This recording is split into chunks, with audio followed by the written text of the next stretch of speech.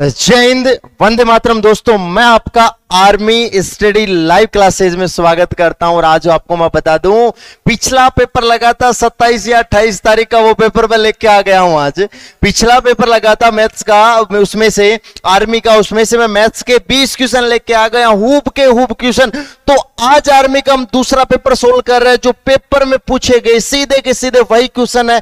कोई परिवर्तन नहीं किया गया, आप खुद चेक कर सकते हो कि पिछला पेपर कैसे आया था।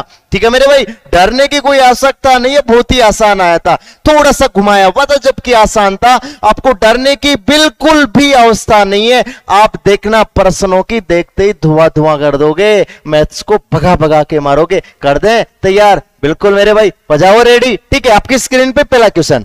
आपकी स्क्रीन पे पहला क्वेश्चन। पहला क्वेश्चन किसका आ रखा देखो।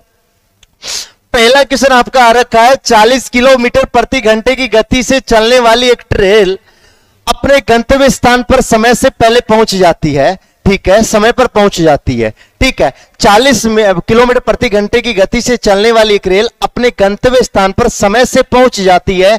यदि रेल की औसत गति 35 किलोमीटर प्रति घंटा कर दी जाए तो उसे दूरी तय करने में 15 मिनट ज़्यादा लगते हैं तो कुल दूरी ज्ञात कीजिए, कुल दूरी ज्ञात कीजिए। तो यदि आपको यदि ऐसा प्रश्न पढ़ा हुआ आपका आपका पढ़ा हुआ जहाँ पर भी आप पढ़े होंगे तो आपके सर ने तो बताया ही होगा, क्या बताया होगा कि दूरी बराबर क्या होता है? चालों का गुणनफल, चालों का गुणनफल बटे, बोलोगे हाँ सर, ये थोड़ा थोड़ा तो पढ़ा हुआ है, बटे चालों का अंतर, चालों का अंतर, और इंटू इंटू आप बोलोगे, सर, समय का अंतर। जी गुरुजी, समय का अंतर। ठीक है? तो बताओ, पहली चाल कितनी है मेरे भाई? पहली चाल आपकी कितनी है? 40 किलोमीटर प्रति घंटा। तो लिख दीजिए मेरे भाई 40 इंटू, दूसरी कितनी है? 35 है। 35 है। दोनों का अंतर कितने का है? दोनों का अंतर पाँच का है, और समय क्या दे रखा है मेरे भाई? आपको समय का अंतर दे रखा है पंद्रह मिनट। तो मैंने पंद्रह मिनट लिख दिया। लेकिन मेरे भाई, एक चीज़ का ध्यान रखना। किस चीज़ का ध्यान रखोगे? सर, ये किलोमीटर प्रति घंटे में है, और ये मिनट में है तो मिनट को भी किसमें बदलना पड़ेगा? घंटे में बदलना पड़ेगा मेरे भाई। आप बोलोगे, जी गुरु जी तो आप कैंसिल कर दीजिए। पाँच सात पैंतीस, बोलोगे जी सर, पंद्रह चौक, साठ, आप बोलोगे सर कैंसिल कर दीजिए, कितना आया? दस आ गया। बोलोगे कि जो सर आपका आंसर आने वाला है, वो सत्तर किलोमीटर आने वाला है। कितना आने वाला है? सत्तर किलोमीटर, पंद्रह चौक, साठ कैंसिल करोगे, दस, पाँच, सात, पैंतीस। तो आप बोलोगे कि, सर, हमारा आंसर क्या आने वाला है? ये आंसर आने वाला है। आप बोलोगे हाँ सर। हाँ ये आपको पीडीएफ इसकी पीडीएफ भी मिल जाएगी सॉल्यूशन की भी, और रियल पेपर की पीडीएफ भी आपको टेलीग्राम पे मिल जाएगी। घबराने की कोई आवश्यकता नहीं है। ठीक है? अगला क्वेश्चन आपकी स्क्रीन पे। इस प्रश्न के बारे में कल भी मैंने बोला था कि एमडीएच डब्ल्यू मेरे पास जितने पेपर हैं, उसमें एमडीएचडब्ल्यू का तो हर पेपर में प्रश्न पूछा हुआ है तो ढंग से रट्टा मार के जाना भाई एमडीएचडब्ल्यू को तो। ठीक है? आप बोलो, ध्यान से सुनो। ठीक है? पाँच व्यक्ति अगर एक काम को बारह दिन में पूरा करते हैं मतलब M D H W M D H W गुरु ठीक है, कार्य नीचे लिखा जाता है, बाकी ऊपर। तो पाँच व्यक्ति, मैंने लिखा पाँच व्यक्ति, कितने दिन में? बारह दिन में। कितना कार्य करते हैं? एक कार्य करते हैं। जी गुरु जी अब इसके बाद में पूछा क्या है? छह व्यक्ति कितने दिन में करेंगे? छह टू कितने दिन में करेंगे? नहीं पता गुरु जी ठीक है तो कैंसिल करके निकाल लीजिए, कोई तकलीफ़ वाली बात नहीं है। छह दुनी बारह और पाँच दुनी दस। डी ऑप्शन आपका करेक्ट हो जाएगा। डी अब बताओ कहा टफ था, बहुत ही आसान पेपर है। आप बोल रहे हो टफ आया। हाँ एक दो क्वेश्चन आ सकते हैं। वो तो फिर सिलेक्शन पे तय करेंगे। ठीक है, बोलोगे तीन नंबर क्वेश्चन तीन नंबर क्वेश्चन आपसे पूछा गया है। क्या देखो, यहाँ पे लिखा हुआ नहीं है, मैं लिख देता हूँ। निम्नलिखित मिश्र संख्या को अनुचित के रूप में बदलिए। तो ये मैं आपको लिख दू। छह सही, दो बटा पाँच। ठीक है आप बोलोगे, गुरुजी, ठीक है, इसको बदलना है, इसको बदलना है। ठीक है, छह से ही दो बटा पाँच। ठीक है, इसको बदलना है बदल के बताओ भाई, कितना आने वाला है। ठीक है, जल्दी कीजिए क्या आने वाला छह से ही दो बट्टे पाँच को। तो लिखा हुआ नहीं था, मैंने लिख दिया, छह से दो बटे पाँच को भिन्न में बदलिए। बोलोगे, सर, अरे, सर, ये तो कितना आसान पेपर पूछा गया है। बोलोगे, सर, गुणा करवा दो, छह पंजे तीस, और दो कितना हो गया? इसको गुणा करवाते ये ऐड करते अरे, सर जी ये तो बत्तीस बटे पाँच हो गया। छह पंजे तीस और दो बत्तीस बटे पाँच। तो आप बोलोगे, सर, ये डी ऑप्शन हमारा करेक्ट आंसर हो जाएगा। डी ऑप्शन हमारा क्या हो जाएगा? करेक्ट। देखो, हो जाएगा, कोई तकलीफ़ वाली बात नहीं। ठीक है, आगे देखो। अगला क्वेश्चन चार नंबर। एक वर्गाकार बगीचे का परिमाप, एक वर्गाकार बगीचे का परिमाप क्या होगा? अगर उसका क्षेत्रफल छप्पन पच्चीस स्क्वायर मीटर है, छप्पन पच्चीस स्क्वायर मीटर है मेरे भाई, ये पूछ लिया। ठीक है? तो आपको पहले से पता होगा कि सर जी, वर्ग का क्षेत्रफल क्या होता है? वर्ग का क्षेत्रफल सर जी, भुजा स्क्वायर होता है। क्या होता है? भुजा स्क्वायर। तो मेरे भाई, आप ये देखना सबसे पहले। क्या कि सर कितना है? छप्पन पच्चीस। तो लिख दीजिए छप्पन पच्चीस। बोलोगे, जी गुरुजी, यहाँ पे क्या आ जाएगा? भुजा स्क्वायर। बोलोगे, यस सर, कोई तकलीफ़ नहीं है। तो जब भी मेरे भाई ये स्क्वायर हटाओगे, अंडर रूट लग जाएगा। तो मेरे भाई, भुजा का मान कितना आएगा? गुरुजी, भुजा का मान आएगा कितना? पाँच और सात। आप बोलोगे, सर, इसका वर्गमूल होता है पिछहत्तर का वर्गमूल होता है। भाई, ये ठीक है? आपसे क्या पूछा? परिमाप तो परिमाप का फॉर्मूला क्या होता है? मेरे भाई, परिमाप का जो फॉर्मूला होता है ना, वो चार इंटू भुजा होता है। तो बोलोगे, सर, चार इंटू भुजा तो चार इंटू पिछहत्तर तो पिछहत्तर दुना डेढ़ सौ डेढ़ सौ दुना तीन सौ। आपका जो करेक्ट आंसर होने वाला है भाई, वो क्या होने वाला है? बी ऑप्शन आपका करेक्ट होने वाला कहाँ टपता? भुजा बराबर क्षेत्रफल बराबर, भुजा स्क्वायर होगा पुट कर दीजिए, भुजा निकाल लीजिए और पेरीमीटर बता दीजिए, क्या और था इसमें? कुछ नहीं था, ठीक है? अगले क्वेश्चन पे चलते हैं भाई, देखो, पाँच नंबर का क्वेश्चन देखिए जल्दी, क्या आने वाला पाँच नंबर का?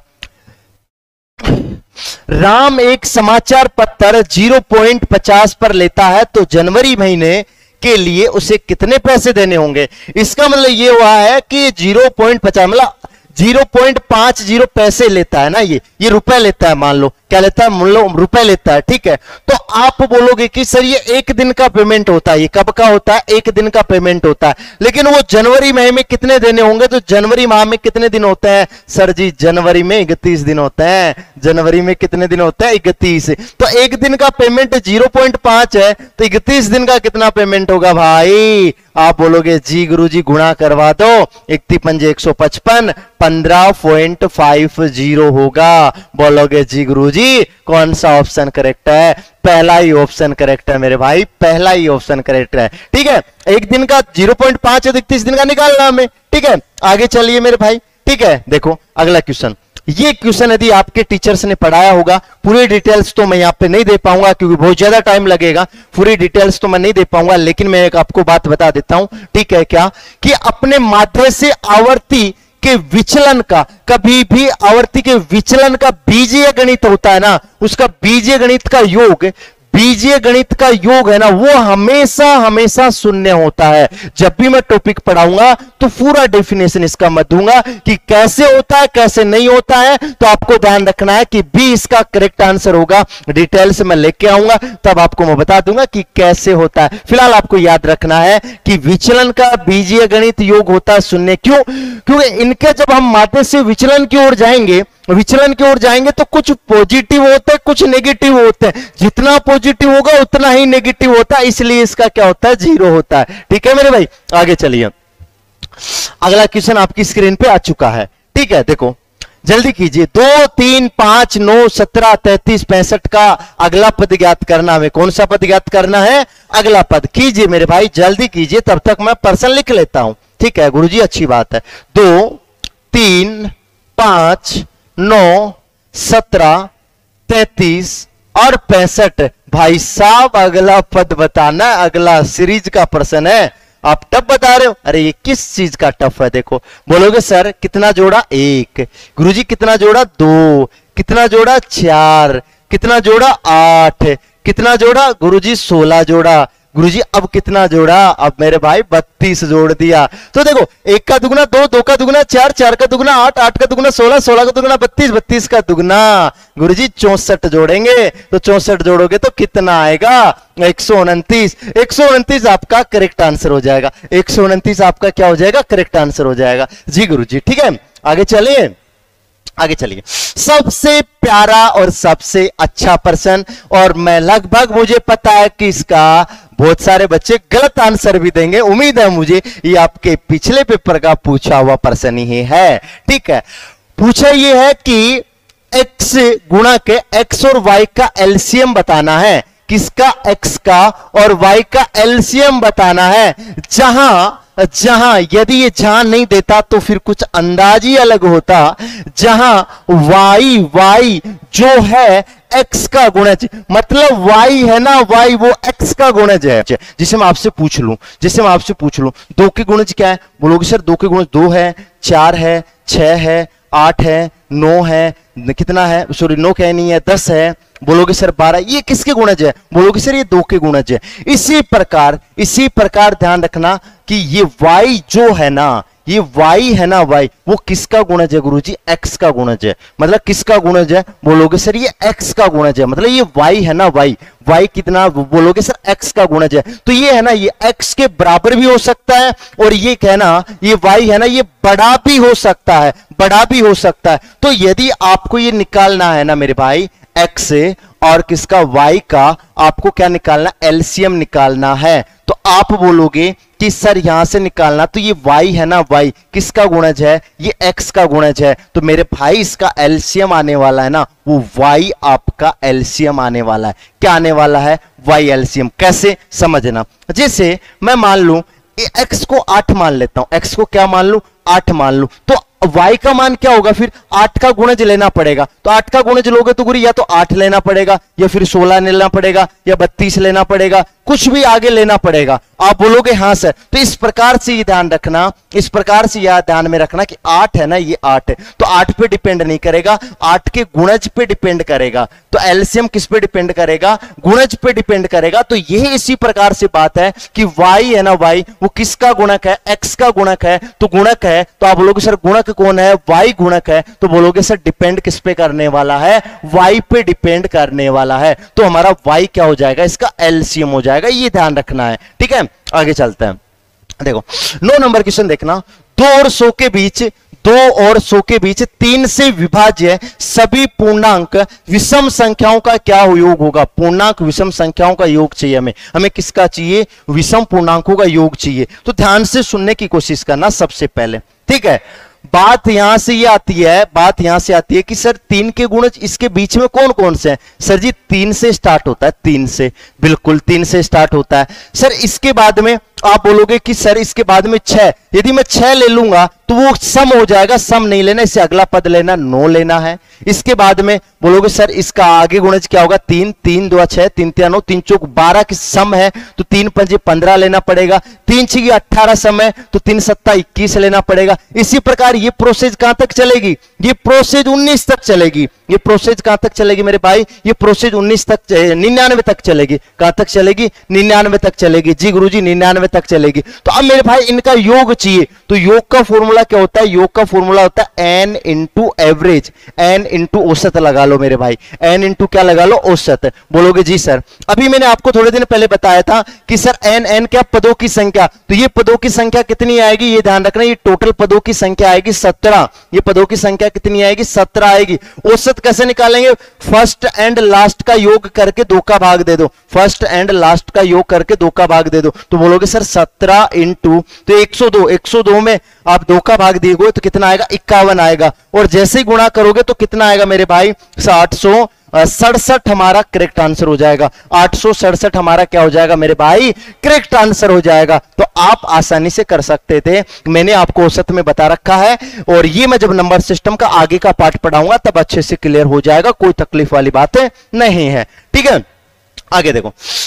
दस नंबर क्वेश्चन हमसे क्या पूछा गया है? दस नंबर क्वेश्चन ये पूछा गया हमसे, क्या? कि सुनना। ये एक क्या है? ये एक हमारा द्विघात समीकरण है। ये एक हमारा क्या है? द्विघात समीकरण है। इसके वर्गमूल है ना? इसके वर्गमूल एक दूसरे के पारस्परिक व्यतुक्रम है। व्यतुक्रम का मतलब रेसी प्रोकल क्या है मेरे भाई? रेसी प्रोकल ध्यान से समझने की कोशिश करना। ध्यान से समझने की कोशिश करना। क्या बात है? देखो, यहाँ से एक देखो, एक मूल। मैं एक मूल मान लू? जैसे मान लो, एक मूल मैं क्या मान लू?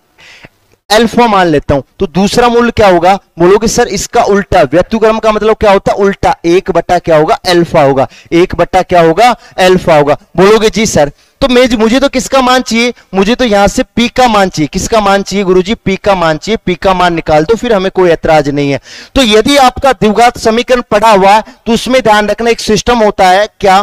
कि ध्यान से सुनने की कोशिश करना। कभी आपने सर ने बताया होगा कि मूलों का गुणनफल मूलों का गुणनफल मूलों का गुणनफल। ये ध्यान रखना, मूलों का गुणनफल किसके बराबर होता है? ध्यान रखना, ये होता है c बटा ए के बराबर होता है। ये कैसे? सर सी ये ए क्या है? तो ध्यान रखना ए तो एक्स स्क्वायर के गुणज में बोला जाता है। जैसे मैं लिखूं A X square plus B X plus C. एक द्विघात समीकरण होता है। एक्स स्क्वायर के गुणा में होता है उसको ए ए बोलते हैं और एक्स के गुणा में होता है उसको बी बोलते हैं लास्ट में बच गया उसको सी बोलते हैं। जी गुरु जी तो अब यहाँ से ध्यान से सुनने की कोशिश करना सबसे पहले। मूलों का गुणनफल एक मैंने अल्फ़ा माना एक एक, एक बटा अल्फ़ा हो जाएगा। तो गुणा करो गुरु जी इनको। अल्फ़ा इंटू एक बटा अल्फ़ा। गुरु जी सी कितना है? सी मेरे भाई यहाँ पे कितना? दो है। बोलोगे जी गुरु जी आप बोलोगे सर इसमें से ए कितना है? ए हमारा पी है। बोलोगे जी गुरु जी तो आप आप क्या करोगे? बोलोगे, सर पी अल्फ़ा से अल्फ़ा कट जाएगा और वजर गुणा करोगे तो मेरे भाई पी बराबर कितना आ जाएगा? दो। पी बराबर कितना आ जाएगा? दो। तो कौन सा ऑप्शन करेक्ट है? सी ऑप्शन हमारा करेक्ट हो जाएगा इसका। यदि जिन भाइयों का द्विघात समीकरण अच्छे से किया हुआ तो वो कर सकता है। जिनका द्विघात समीकरण नहीं पढ़ा हुआ है तो हम बहुत जल्द ही आपको द्विघात समीकरण पढ़ाने वाले हैं। ठीक है? उसमें आपको एक एक चीज़ें बता दी जाएगी, कैसे होता है, क्या होता है। ठीक है? चलो, आगे चलते हैं। ग्यारह नंबर क्वेश्चन देखना। एक परीक्षा में विद्यार्थियों को 40 प्रतिशत अंक चाहिए। एक परीक्षा में विद्यार्थियों को 40 प्रतिशत अंक चाहिए। सभी प्रश्नों के अंक बराबर हैं। एक विद्यार्थी ने 15 सवाल हल करके 10 का सही उत्तर दिया तो कुल कितने प्रश्न है? तो ये इसका मतलब ये हुआ कि बात यहाँ से ये निकलती है कि सर, क्या कि इसने पंद्रह सवाल किए तो पंद्रह से मतलब नहीं है। लेकिन इसने दस सही किए ना, इसी में क्या हो गया? पास हो गया। दस सही करते ही क्या होगा ऐसे मानना है, प्रश्न में कुछ कहा नहीं गया, लेकिन कहना चाहिए था उसको कि दस में वो पास हो जाता है। लेकिन इसके बारे में ऐसा कुछ कहा नहीं गया है तो आपको यही मान के चलना है कि सर, दस सही उत्तर दिया। दस परसेंट करते वो पास हो जाएगा। वैसे पास मार्किंग के लिए कितने परसेंट चाहिए? वैसे पास मार्किंग के लिए चालीस चाहिए। और वैसे कितने क्वेश्चनों में पास हो जाएगा? वैसे मेरे भाई दस क्वेश्चनों में पास हो जाएगा। कितने क्वेश्चनों में पास हो जाएगा? दस में पास हो जाएगा। तो एक बराबर निकालोगे तो कितना आएगा? दस बटे चालीस इंटू कितना आ जाएगा? सो। तो गुरुजी, जैसे ही सोल्व करोगे, कितना आएगा? पच्चीस क्वेश्चन। तो मेरे भाई, कौन सा ऑप्शन करेक्ट हो जाएगा? डी ऑप्शन हमारा करेक्ट हो जाएगा। पच्चीस क्वेश्चन करते ही वो क्या हो जाएगा? पास। तो पास मार्किंग लिख दो, चालीस परसेंट। इधर दस क्वेश्चन करते पास हो जाएगा, दस लिख दो, आपका आगे का प्रश्न क्या हो जाएगा? सोल्व हो जाएगा। ठीक है? बोलोगे हाँ। ठीक है, कोई तकलीफ़ वाली बात नहीं है यहाँ पे, आप कर सकते हो आसानी से, कोई बड़ी बात यहाँ पे नहीं है। आगे चलते हैं, देखो। अब सुनना, क्या बात आती है? बात ये आती है, सर, इसका ऐड करना है, क्या करना है? जोड़ना है। तो जोड़ दीजिए मेरे भाई, जल्दी से।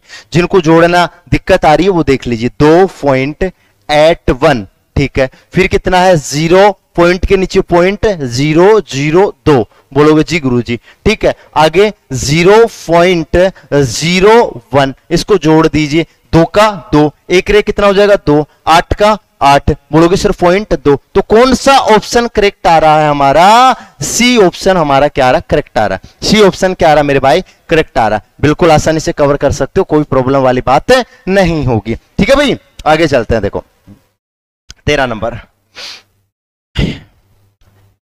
तेरह नंबर देखो, ध्यान से सुनना। एक मैं आपको बात बता दूँ, एक मैं आपको बात बता दूँ। यदि आपका ये बीज गणित का प्रश्न है, यदि बीज गणित आपकी पड़ी हुई है तो एक छोटी सी बात मैं आपको बता दूँ, ध्यान से सुनना। यदि x प्लस एक बट्टा एक्स कितना दे रखा? दो। अब इसके चाहे कितनी घात लगा के पूछे? चाहे कितनी घात लगा के पूछे? मतलब x की घात n प्लस एक बट्टा एक्स की घात एन कितनी भी घात लगा के आपसे पूछे तो आंसर इसका क्या होने वाला है मेरे भाई? दो ही होने वाला है। आंसर क्या होने वाला? दो ही। सीधा सीधा प्रश्न था कि x प्लस एक बटा एक्स बराबर दो दे दे। ये दो फिक्स होना चाहिए यहाँ पे। यदि दो दे दे और x की घात कुछ भी दे दे, x की घात कुछ भी दे दे, उसका मान दो होता है। मैंने कहा यहाँ पे दो दे रखा तो इसी से कोई फ़र्क नहीं पड़ेगा। हमारा आंसर क्या हो जाएगा? दो ही हमारा करेक्ट आंसर हो जाएगा। बोलोगे जी सर। ठीक है? आगे चलते हैं। देखना चौदह नंबर का क्वेश्चन आपकी स्क्रीन पे आ रहा भाई। ये लो, जल्दी कीजिए। जल्दी कीजिए मेरे भाई। ठीक है, जल्दी कीजिए। हाँ यहाँ पे कितनी कुर्सियाँ हैं? यहाँ पे दो कर लेना मेरे भाई। कितनी कुर्सियाँ? दो। ठीक है हाँ। दो टेबल और तीन कुर्सियों का कुल लागत मूल्य पैंतीस सौ है। टेबल कितनी है? दो तो टेबल है। दो तो क्या है? टेबल है। गुरुजी, ठीक है। तीन क्या है? चेयर है। तीन आपकी चेयर है। इनका मूल्य कितना है? इनका मूल्य पैंतीस है मेरे भाई। इनका मूल्य कितना है? पैंतीस अब आप बोलोगे यहाँ से क्या कि तीन टेबल, दो कुर्सियाँ। मतलब तीन टेबल और दो कुर्सियाँ। मतलब तीन टेबल प्लस दो कुर्सियाँ का मूल्य कितना भाई साहब? चार हज़ार है। कितना है? चार हज़ार है। बोलोगे, जी गुरु जी चार हज़ार। तो एक कुर्सी एक टेबल का मूल्य बताना तो इनको जोड़ लो। जोड़ोगे तो कितना आएगा? Five T plus five C बराबर कितना आएगा? पिछहत्तर सो। सर, पाँच कॉमन लेके भाग दे दे। बिल्कुल मेरे भाई कॉमन लेके भाग दे दो। तो पिछहत्तर सो में से आपका पाँच का भाग दोगे तो आंसर कितना आने वाला है भाई?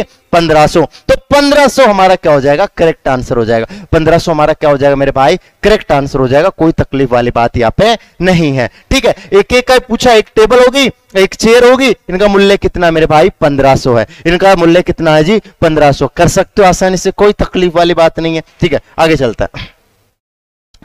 ये आपका पंद्रह नंबर का क्वेश्चन किससे रिलेटेड आया है? ये मेरे भाई, आपका जो प्रश्न आया ये लाभ हानि से रिलेटेड आया है। अभी दो दिन पहले मैंने आपको प्रैक्टिस करवाई थी। क्या? देखो।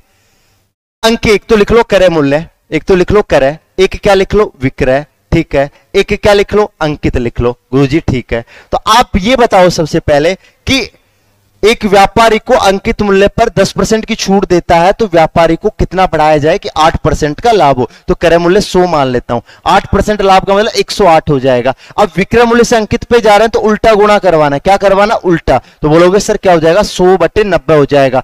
ज़ीरो से ज़ीरो कट जाएगा। कितना आएगा भाई? बता दो देखा।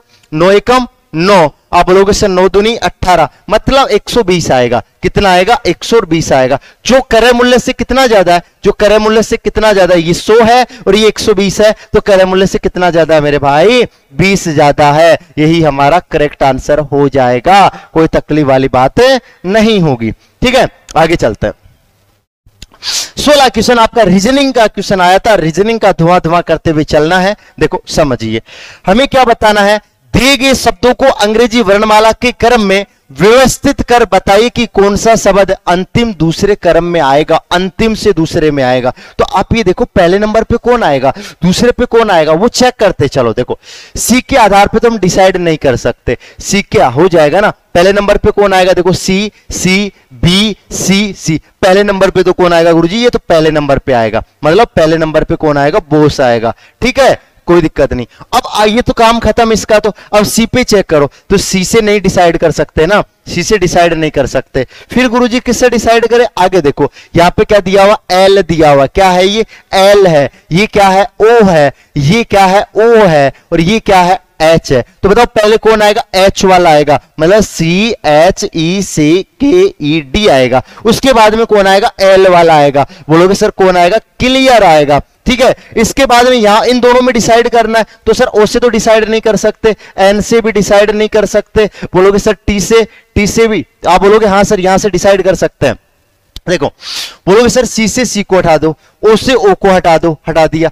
एन से एन को हटा दो, हटा दिया। अब यहाँ पे कौन आ रहा है? यहाँ पे टी आ रहा टी और यहाँ पे क्या आ रहा? एस आ रहा, मेरे भाई, क्या आ रहा? एस तो एस पहले या टी तो बोलोगे सर एस पहले आएगा। तो पहले कौन आएगा? कौन स्टेंटली आप बोलोगे हाँ सर, ये आएगा। इसके बाद में कौन सा आएगा, गुरुजी? वो आएगा कौन ट्रस्ट ठीक है, बोलोगे जी। तो लास्ट से बताना है। तो ये तो पहला नंबर दूसरा नंबर तीसरा नंबर चौथा नंबर पांचवा नंबर लेकिन लास्ट से दूसरा बताना है। लास्ट से दूसरा तो पहला नंबर ये लास्ट से दूसरा नंबर ये आएगा। क्या? कॉन्स्टेंटली आएगा। बोलोगे, सर, कौन सा ऑप्शन करेक्ट होगा? डी ऑप्शन हमारा क्या हो जाएगा? करेक्ट हो जाएगा। बोलोगे हाँ सर, कोई तकलीफ़ वाली बात नहीं है।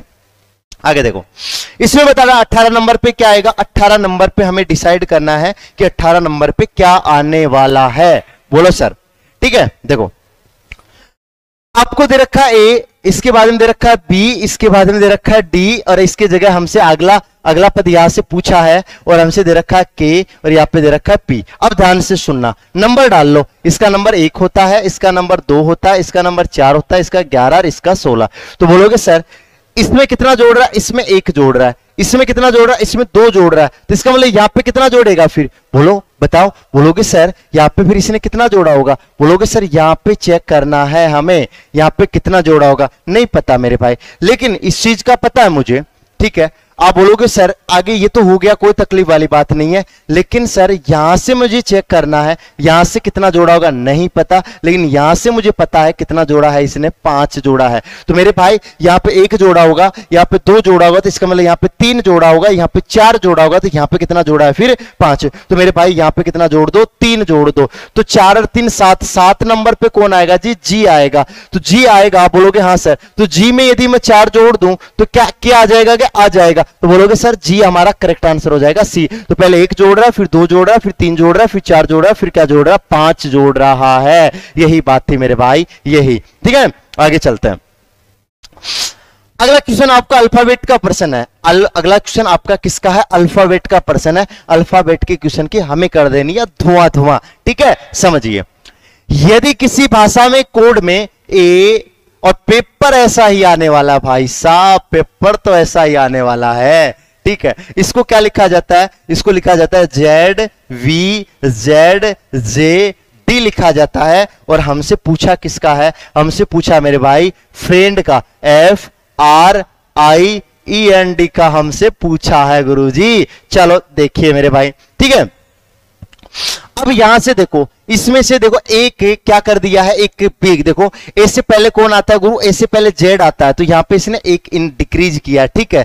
डब्ल्यू से पहले कौन आता है? वी आता है। ए से पहले कौन आता है? जेड आता है। के से पहले कौन आता है? जे आता है। इससे पहले कौन आता है? डी मतलब एक एक माइनस कर रखा एक एक माइनस ठीक है? बोलोगे सर इससे पहले कौन आएगा? एफ़ से पहले ई e आ जाएगा ना ई e एफ़ इससे पहले कौन आएगा sir ji? P Q Q आएगा ना क्यू आर ठीक है, इससे पहले कौन आएगा? सर एच आई तो एच आएगा। सर, इससे पहले कौन आएगा? डी आएगा। सर, इससे पहले कौन आएगा? एम एम एन आता है। डी से पहले कौन आएगा? गुरु जी सी आएगा। तो ऐसा ऑप्शन किसमें आ रहा है? E Q E Q H D M C कौन सा ऑप्शन करेक्ट है भाई?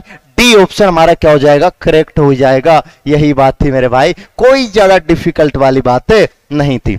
ये आपका एच डब्ल्यू है और एच डब्ल्यू है, इसी के साथ आपको क्या करना एक काम भी करना है, एक काम भी करना है, क्या काम करना है? इसका जो आपका आंसर आया, वो कैसे आया? उसके विचार भी आपको लिखने हैं, विचार भी आपको लिखने हैं। तो आप बोलोगे, हाँ सर तो ये आपका पिछला पेपर था जो मार्च में हुआ था। मार्च का पेपर मैंने आपके स्क्रीन पे रख दिया है। आप खुद तय कर सकते हो कितनी तैयारी बाकी है, कितनी करनी है। 19 दिन बचे हमारे पास। तो तो आप जी जान से मेहनत करते रहिए, कोई तकलीफ़ नहीं सिलेक्शन हमारा श्योर होगा, ठीक है? आप नो टेंशन डिमोटिवेट मत होइए। चलो, हँसते रहिए, मुस्कुराते रहिए, जी जान से मेहनत करते रहिए। जय हिंद, वंदे मातरम, मेरे फौजी भाइयों।